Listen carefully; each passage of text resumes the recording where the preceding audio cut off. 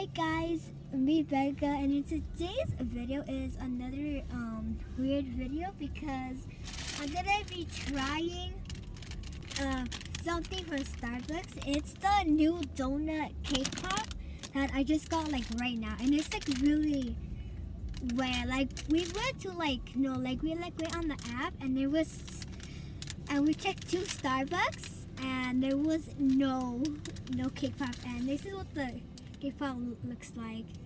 It looks so good. It was so weird. We couldn't find it anywhere. So I'm gonna try it out and see if it's good. I haven't tried it yet. My mom has two more of of the donut cake, cake pops, one for her and one for my brother. So she, so he could try it. And yeah, before we get on with the video, remember to give this video a big thumbs up and comment down below if you ever tried the donut cake pop yet. And make sure to, to subscribe too. So okay, I'm gonna try it. Where's where did I try it? I don't know where to try it yet. Okay. My my mom is right there. I don't know what she's doing, but she's on her phone. So should I try? Okay, I'm, I'm gonna try it at the top. Oh my god. It's so good. I don't know, like it had like a doughy side. It had like dough inside. And it had like strawberry frosting and it's like a mix. It's like a it tastes like brownie. It's a brownie.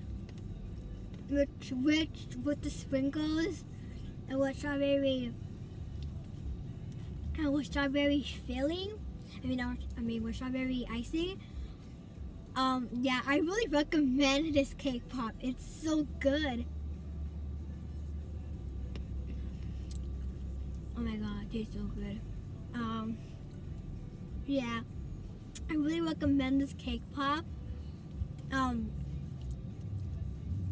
okay guys, that is all for today's video. Uh, hope you guys enjoyed this video. Comment down below again if you have tried it yet. It's actually really good. I give it a 10 out of 10.